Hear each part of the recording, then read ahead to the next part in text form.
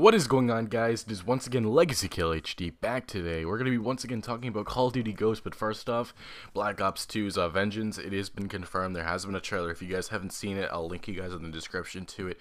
But I have to say, I'm really happy because six months ago, I predicted we'd have a, a new map for Firing Range, maybe a Firing Range 2025 or Summit 2025. I'm going to show you guys this clip really fast because I, I just wanted to show it off because my prediction was right. I guess six months ago we'd see both of these maps in Black Ops 2. So here it is. Uh, multiplayer. I thought maybe they could bring back some of Black Ops 2's old maps, like in concepts. I don't mean like just bring back Fire Range 2025 or Summit 2025, but I think that could. Uh, I think the, that could be a good idea. You know, those are two maps that I really did like the idea. I would love to know what you guys think in the comments about this. Um, I'm just very proud of myself for figuring it out, honestly, six months ago. So I'm just, I'm amazed actually. So we're gonna move on. We're talking about Call of Duty Ghosts once again. We got the latest news. Um, I think it was June 20th. Yes, June 20th. We had Jimmy Fallon, his show. Um, Mark Rubin went on there and he exclusively gave us a little bit of details. There really was nothing. I was expecting something like the reveal of a new game mode, like the replacement of Spec Ops or Survival, whatever. But um, we didn't get that. We only thing we got was some E3 uh, gameplay, No Man's Land. Yeah, that was already out, and it it wasn't that great because Jimmy Fallon he's not a good gamer, so it, it was decent enough, I guess. But we did get some we did get a confirmation that Call of Duty Ghosts will be a launch title for the Xbox One and PS4, and we did get a look at our first sniper rifle before. Um, we didn't really get a good look because um, once again Jimmy Fallon not a good gamer. He kind of just died with the sniper rifle, pulled it out the last second. But it look appears to be an L118 or an L96, but also could be an AW50. So like those three sniper rifles, it resembles the most. I would think personally that they're bringing back the L118A. It just doesn't make sense. The L96 more of a Treyarch Black Ops thing, and the AW50 maybe it's something new. I don't know. We also um this was something that was seen during E3. We saw a mystery shotgun. I'm gonna throw that that screenshot on the screen. Um I don't know what it is, guys. You're gonna have to help me out in the comments and tell me if you um, have any idea of what this looks like. But that's that's that, and now we're gonna get down to the multiplayer E3 information that was brought. We um, Turtle Beach will have Call of Duty Ghost branded headsets. Um, that's kind of a good thing, just because Turtle Beach is a great. Uh, they're they have great headsets. I'll say not maybe not uh, Astro level, but they're really nice, and it's good to see that. Um, Microsoft's also making deals with Turtle Beach and stuff. It's it's crazy. And also, if you don't know, your headsets aren't going to work on the next gen consoles because of some certain wiring or some different thing they're doing. Just another way to get more money. And I guess they're not the, the companies who make the headsets probably aren't going to be making uh, adapters, and if they do, it's going to be expensive. So I guess we're all be getting going to be getting new headsets, and if we're competitive enough, I guess. And actually, that brings me to my next topic. Um, the Call of Duty Ghost will support esports and competitive Call of Duty. So that's another thing that a lot of people were concerned about because in MW3, a lot of people had problems with it if it was competitive enough and if we, if the um, MLG was going to be able to do competitive gaming with it. So it's a good thing to hear that Call of Duty Ghost will have this. So let's move on to the other little. These are actually pretty big, I guess. Um, the dog will be in multiplayer, and I guess um, Infinity Ward said they weren't going to discuss it, but it's kind of obvious it's going to be a kill streak. Come on, isn't it obvious that uh, when we saw the moment in No Man's Land when the dog was taken out, it looks like an RCXD, just a dog instead. So it does look awesome. And you also can lean in multiplayer on all platforms, so it's not just like um, it's not going to be some Xbox thing or PC. So it'll be PS everywhere. And we also um, we, well, we also are going to be getting our reveal finally in August. I mean, I was very disappointed at E3 if we didn't get any really big multiplayer no- news. I meant news.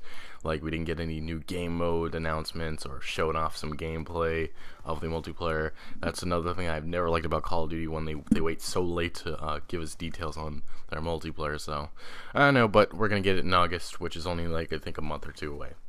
So they have revamped multiplayer completely. Obviously, that's a good thing kinda.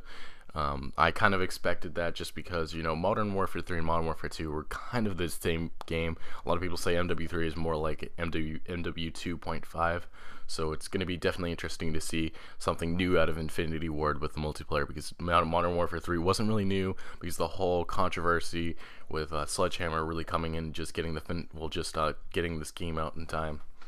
Uh, more information on dynamic maps, guys. Where gonna, there's going to be earthquakes, flooding, player-driven actions, doors, explosive traps. That can be a good thing. That can be a bad thing.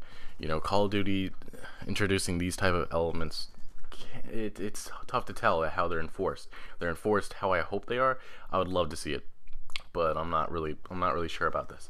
And actually, there was one example that was shown to us. It says that one of the maps has a point where a satellite crashes into the map, but actually the satellite will have like a UAV or something on it where you can grab it. So once again, I would think that's like gonna be just given to one certain game mode. I don't think they're just going to throw that into a search and destroy match. But if they do, that'd be interesting for the competitive scene, trying to see how that would work.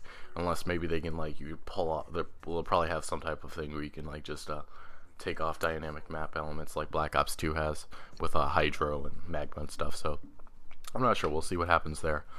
And um, character customization. I have a little bit. I have a couple pictures I'm gonna throw up. If you guys do not know Call of Duty on, Online, which is China's version of Call of Duty, um, they have character customization already, and this is what it's kind of. I'm guessing it's gonna look like with the heads, the body armor, the helmet, the, you know, everything. That's what's probably going to be like. I'm sure that's going to be like a certain maybe currency or whatever points maybe, but we'll have to see how that. But it does. Um, this is basically kind of like a first look at what character customization could look like. So I just wanted to show that to you guys today, and also let's get there's some uh, map details right here. They want to make every map as different as possible. That's always been a Call of Duty thing. It seems like every map's as different as possible. There's a, like a snow map, there's a jungle map, there's a city map. You know what I'm going with this. And they're removing classic symmetrical map layouts. Obviously, I don't know if that's going to be a great thing. And one thing, Call of Duty Ghost DLC launches first on Xbox. Once again, Microsoft has um, landed a deal with Activision again for Call of Duty Ghosts. So I'm not sure if this is going to carry over to the next Call of Duties or whatnot, but they have announced that it will be DLC first for Call of Duty Ghost. So to you PSN players, you still got that one month, and PC players, well, uh, for some reason it seems like they don't like you. And actually, it's it's actually funny that I say uh, PC players you're not liked because for some reason Infinity Ward did express that they are going to be um, doing a lot more with PC this time. So something to look out for you PC players out there. So what we did see a lot of E3 was we saw some uh, we saw No Man's Land, the you know that destructible San Diego and it's falling, everything's destroyed. I'm guessing that's going to be a multiplayer map. I'm guessing that'll it'll be something interesting to see. Uh, you know, every mission in Call of Duty games, it always seems to be they grab a certain area and make it into a multiplayer part.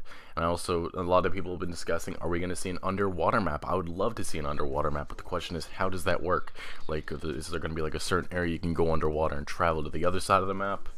You know, I've always found it to be bullshit that if I jump in water, I'm gonna die in Call of Duty. You know, it just it doesn't make sense. So this is gonna be definitely interesting how they enforce this underwater element if they do bring it.